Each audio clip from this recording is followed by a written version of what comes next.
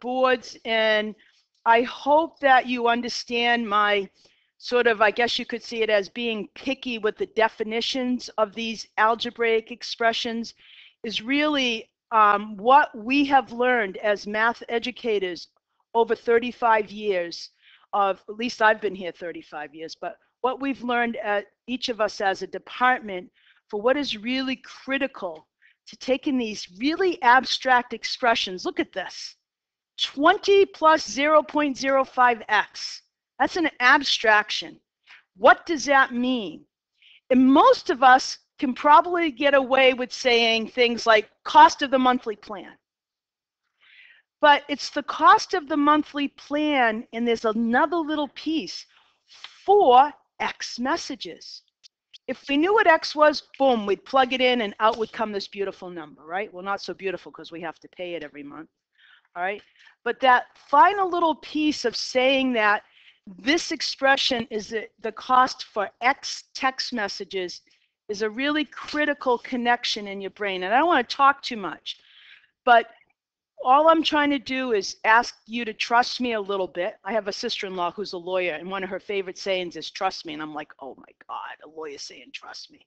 Anyway, but just you know, try to go with it and know that whatever I'm asking you to do, I'm asking you, I'm pushing you a little bit in hopes that this kind of abstract idea will start to become more familiar to you. Most of you can use the words of what these things are it's going from the words to the expressions or, or from the expression to the words. There's a disconnect there. And I'm trying to connect the synapses in your brain, or is that the right word for what's in your brain, or is that your nervous system? Anybody do biology in here? Synapses, okay? Yeah, okay. Yeah. So you all worked really hard. Your brains need a little bit of a rest. So that's why I was talking to you, so you could just ignore me for about three minutes and give your brains a rest. Okay. So all of what I've asked you to do in one through four, all that hard work will hopefully serve you over, you know, our 15 minute demo that I'm about to do, and then when you do your class activities. But let's start with this last one right here. Okay. Your local computer store is having a terrific sale on digital cameras. After a 40% price reduction, you purchase a digital camera that costs $276. So when you do these types of problems and you're asked to find the original price of the camera, this is how I always phrase it. You have to find an equality. To solve an equation, you have to find an equality in all of that words, all of those words that they just threw at you.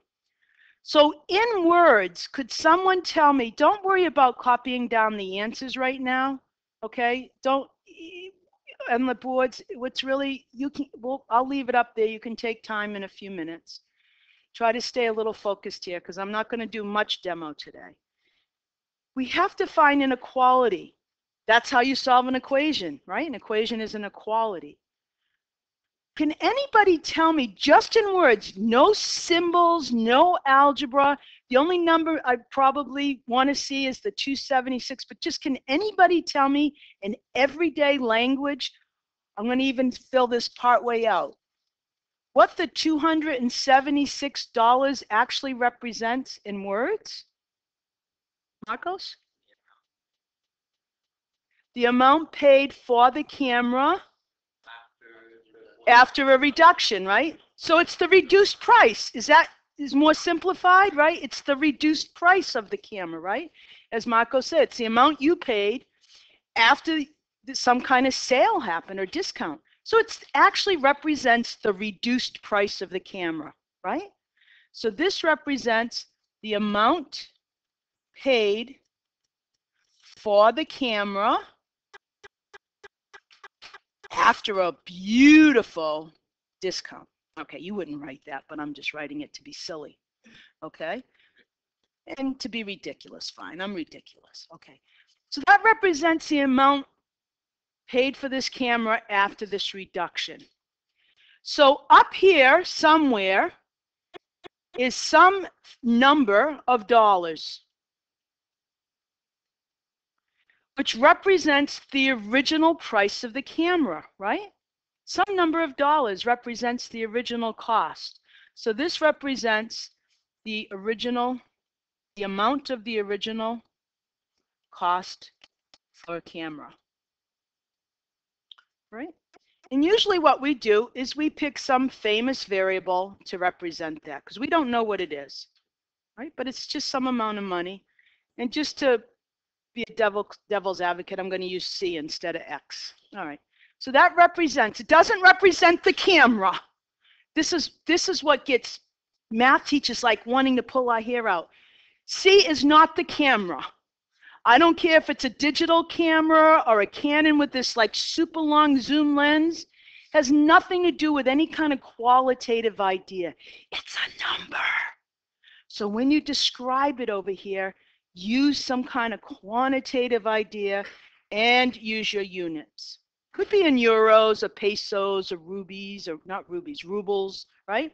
Rubies, that would be good, huh? All right. So that's this original amount. What happened to this original amount? If it's reduced, what possible operation might come in handy here on the other side of this equal sign? What kind of mathematical operation might we be talking about? Yeah, Moshe? Subtraction. So we take the original cost, and I'm doing this out in all of its like long kind of, but this is what really goes on in our mind.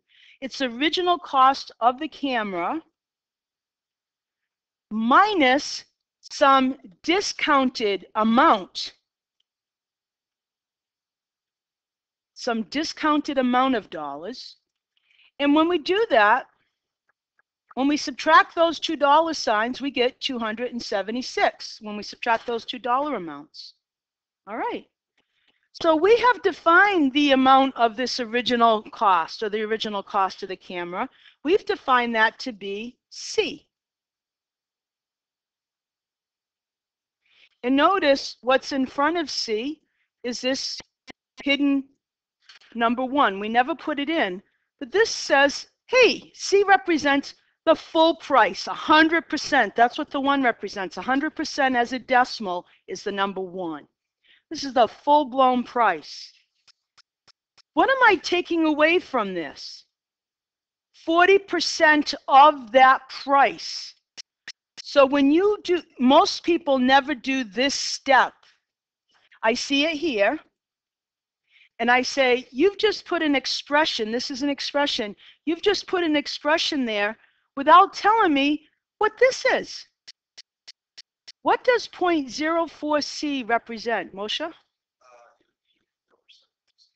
Yes, it's 4% of C in everyday words that has to do with the story that we're telling right, right now because 4% of C could be put into any story. I could be talking about interest. I could be talking about um, a price reduction of a house. What does 4% of C actually represent in this problem? Excuse me? Oh, it's 40%. Thank you. All right. So, you know, these mistakes are quite common, right? It's usually the other way where you make uh, 4% 0.4 instead of this. Okay, so here's my 40% reduction. Thank you for those of you who are eagle eyes here. All right, so in words with this story, not any general story. Want to try it again, Moshe? What does that? All right, but would you go around saying, talking to people that way? Like if you were in a if you were in the camera shop right now, would you say, oh, that money that you took off from the original cost is 40% of the cost of the camera? What would you call that? How is that being used just in everyday language in this problem? Huh? It's the discount. It's the amount of your discount, right? It's the amount of the discount in dollars, right? On the original cost on C dollars. So you see, there's a lot that goes on in your mind for that very simple subtraction problem. And we know that what's on this side that we've just written, the C take away the 0.40C, is actually the same exact thing as this number called 276. Now we have an equation. We found out what equals what. To solve this, we combine these like terms. 1c take away 0.4c is 0.6c. And from here, you're all going to be happy because you can get your answer, which is 276 divided by 0.6, which is $460. Okay, so there's a lot, a lot that you have to um, rest with today. You've done a lot of work. All right. Now, this is another picky thing. C represents this number. When I ask you to put units on any answer in a test, don't do this. C is not $460. C is for the number 460. And again, this is um, a very, this is now we're getting into like the finer details. C is a variable, it takes the place of a number. When you write your answer, you say the original cost of the camera, now you put in your unit, was $460. So much of we were allowed, I did this too in high school, we were allowed to just throw the units, whatever it was on, on this part of your answer. This will always just be a number. If you have to separate it, even if you don't write the sentence, write 460 with the dollars in front of it and circle it, but don't put C equals $460. All right, so let's take a look at today's demo. Those are all the preview exercises. I took this right out of your book because it's a really nice little like exercise we can do that I think we could we can all kind of get behind. Um, the sec this section in Friday's work deals with models and applications. And most of you have called this type of content before word problems. But we're not going to call them word problems because I hate that, that phrase because what's it create? It creates a problem in our mind and anxiety. So I have always called word problems for many, many years story opportunities. It's your opportunity to tell me what this story is about and to be a detective and investigate the story and come up with a resolution, which we call the solution. Okay, so we've already developed quite a bit of strategies um, in the 20 minutes that you work today, 25 minutes. So let's take a look at this bar graph. You want to read this for us, um, Emily?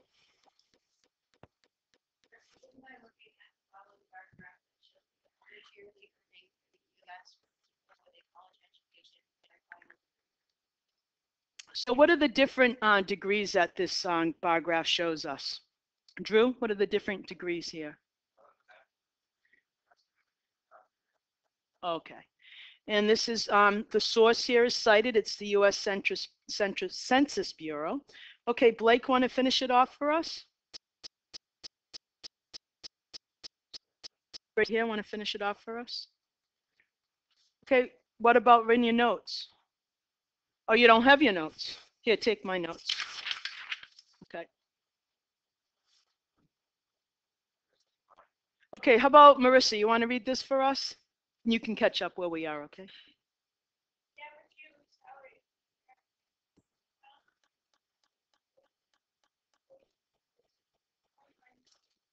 Forty-nine thousand dollars, yeah.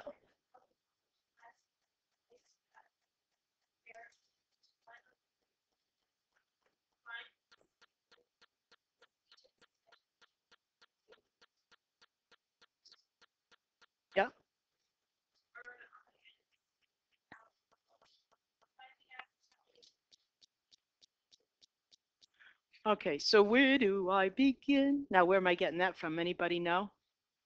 I'm really old now. I know. Nobody knows that's. Remember, anybody heard of the movie called Love Story? That's really old. It's a tearjerker. Yes?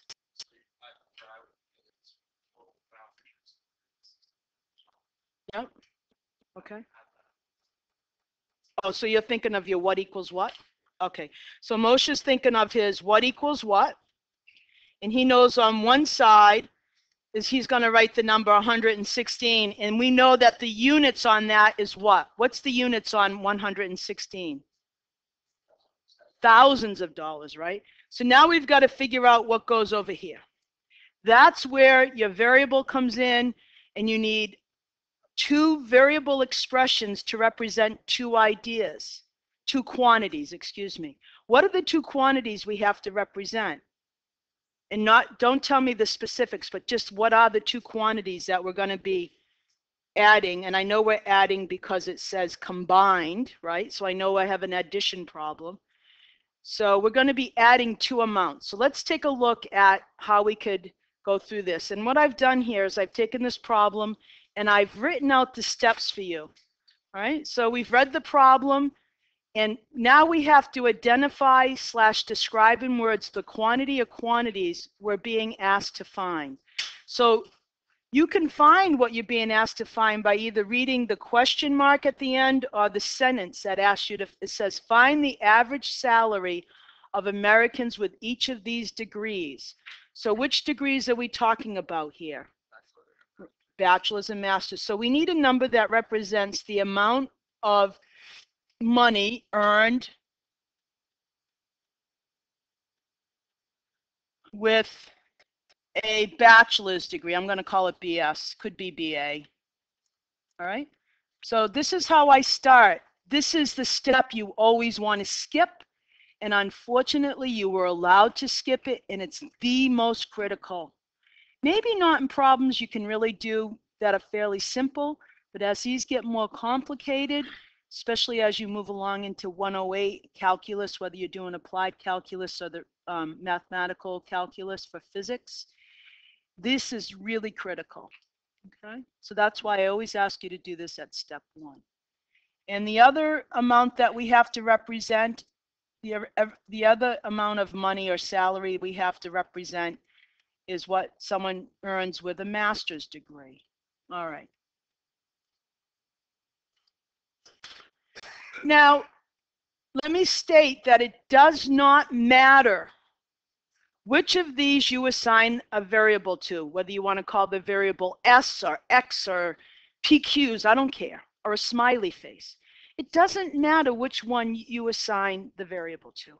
However, usually the phrasing, and particularly the phrasing in that first sentence, will lend itself more easily if we always look for defining the salary that's the smaller amount. Which one of these salaries from reading that first sentence is the smaller amount? Jenny, can you tell me which one of the salaries is going to be smaller if you read that first sentence? The one that's the bachelor's degree, right? Because the master's degree has a relationship.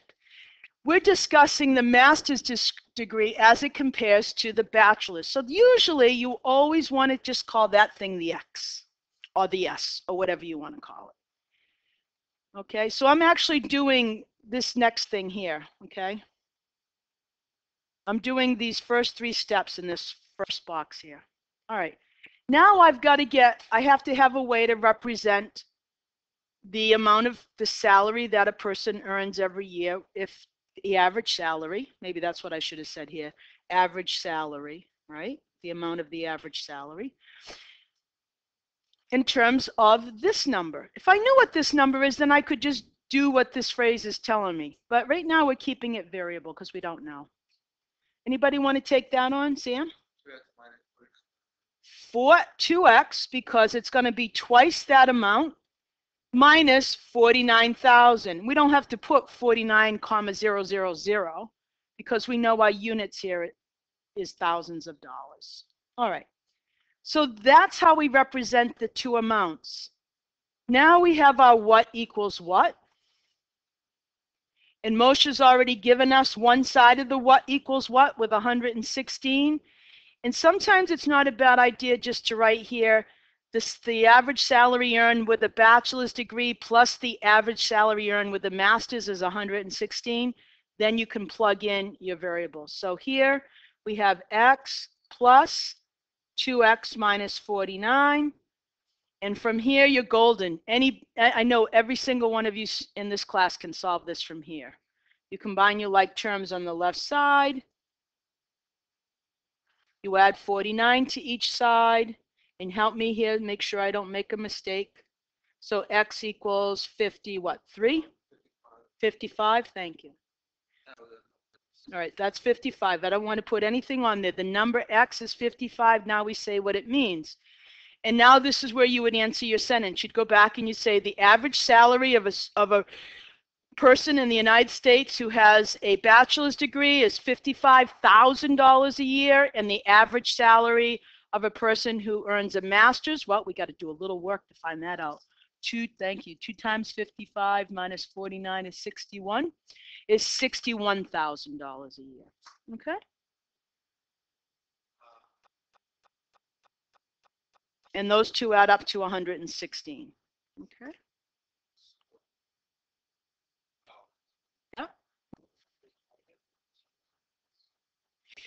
because this, these are the two amounts, uh, these represent the average um, salaries. This is the average salary, Marcos, of the person who earns the BS or BA degree. And this is how we represented the average salary of the master's degree. And when we add those two together, we get the 116. Okay? Because the first phrase, Marcos, see the first phrase said that the person who earn, has a master's earns twice that of the one that earns the bachelor. So I got to double this, but it's not exactly double. It's minus 49. Okay. Does that answer your question? Okay. Any other questions on this? All right. So I think we have beat the next the next type of problem. Oh, we haven't really beat this one to death, but we did one very similar to this. Let's say we're choosing two text plans. I'm going to do this really quickly because I want you to have time to work. Plan A has a monthly fee of $20 with a charge of 5 cents a text. So now you know why I asked you to do number two, right? Because we can already represent the amount of money spent in Plan A. So the first thing I have to do here is I have to represent the number of text messages. Regardless of what plan I use, I'm going to let X equal the number of text messages and I should probably, to be really accurate, say number of monthly text messages, right? The number of monthly text messages. I was just talking to Verizon last night, as a matter of fact, about my latest bill. Okay. So Plan B has a monthly fee of $5 with a charge of 10% per text. Both plans include photo and video text. For how many text messages will the cost of the two plans be the same? So right now, I just, I'm just representing the number of monthly text messages. Okay, what else do I have to represent in this problem beside the number of text messages with the letter X? Um, Doug, you want to help me out with this?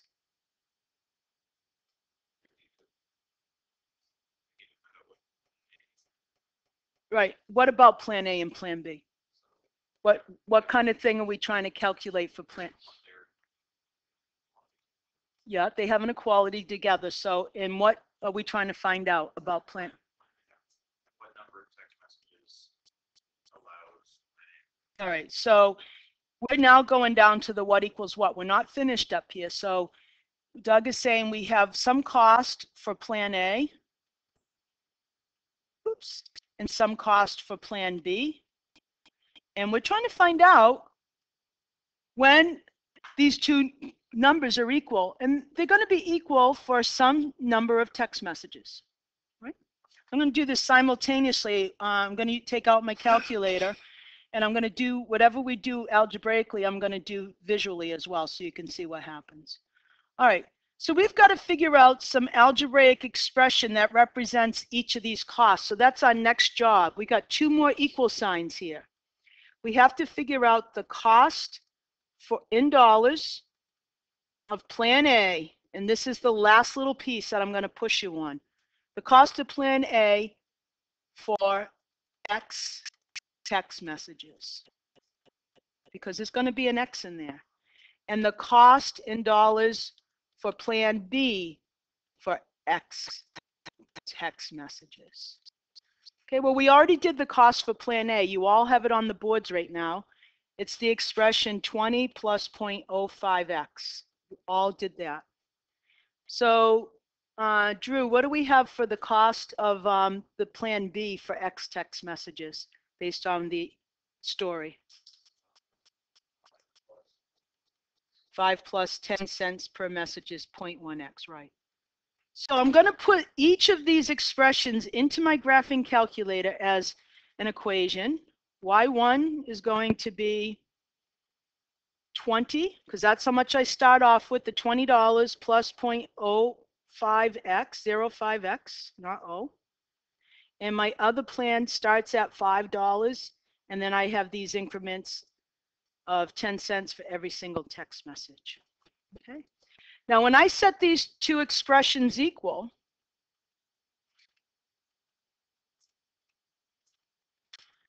I can now solve these for x, and I'm all done. So we get uh, $15, 15 on this side equals 0.05x on that side. We divide both sides by 0.05 and we get the number of text messages. So does anybody know what that comes out to be? 300. And do not put on the end of this messages or texts because that's just a number. What is this going to look like if I look at the graph right now? Does anybody have a sense? I got two equations here that I'm graphing. What kind of equations are these? 20 plus 0.05x, Marcos?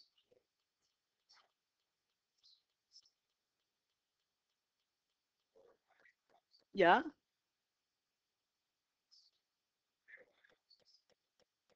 Okay, so when you say one, what kind of, how would you describe the shape of that one? What kind of shape does it make when you're doing this? What kind of shape is that on the graph? What do we call it? Straight line, right. So we're going to have two straight lines, and as Marco said, this first straight line is going to have a, be further up on the y-intercept because it starts with a, a flat fee that's higher, but it increases at a slower rate, five cents for every text message versus this one. And what does this 300 represent in terms of the graph? Someone, someone that I haven't heard from today, maybe. Who haven't I heard from? I think I've heard from just about everybody. Dan, do you know what the 300 represents in the graph? The number of texts. Okay, for the plan. Well, let's take, let's do a, a Zoom 6 and see if we can do this on, we don't really need a standard window because we're not going to have negative text. So I'm going to do 0 and X is 300. So I'm going to go out to say maybe 400 and I'm going to do every single text. I'm going to increment by one. Um, the lowest amount that my cost will be is five bucks a month. So I'm going to have my Y minimum be five. I have no idea what this is going to come out to be money wise. So I'm just going to put a hundred dollars. So I've set my window up and now I'm going to graph it. So there's one of my lines and there's the other. Okay. So this line is what Marcos was explaining is the cost for plan A because it starts up higher on the y-axis and it's not as steep as this line, which starts down here at $5 and almost looks like zero. So let's get a picture of that. And we'll, we'll plug it right here so we can sort of have a visual. Oh, I always forget that I have to have my camera on first. Let's turn the camera back on. Come on, get out of there. Cut. Okay. Let's get this up and we'll get a picture of that now. Okay. Let's take a picture of this. All right. So each of those lines represents the cost of each text plan. Okay. We don't need to make it that big. All right. So this, this is the geometry that goes with this what equals what here. The point of equality, what are you calling the point of equality here? There's a point has two variable, two pieces, right? It's the intersection point, right? And we know something about that intersection point. We know that it happens at 300 texts.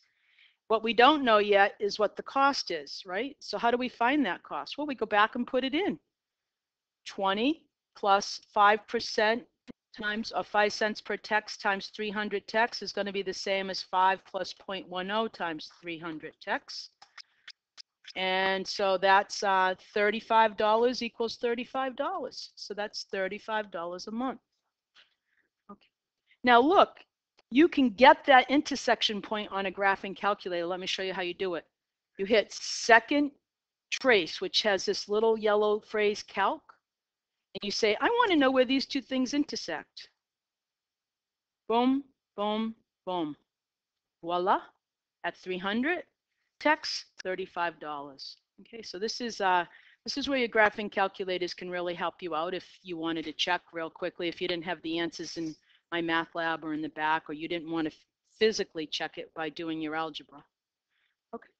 All right, so you're now on your own to start your class activity, and I've, I've led you through a lot of this stuff um, by giving you like little pieces to fill in to try to help you out. I'm going to get your flags for you. Just start wherever you want. Use your flag, flag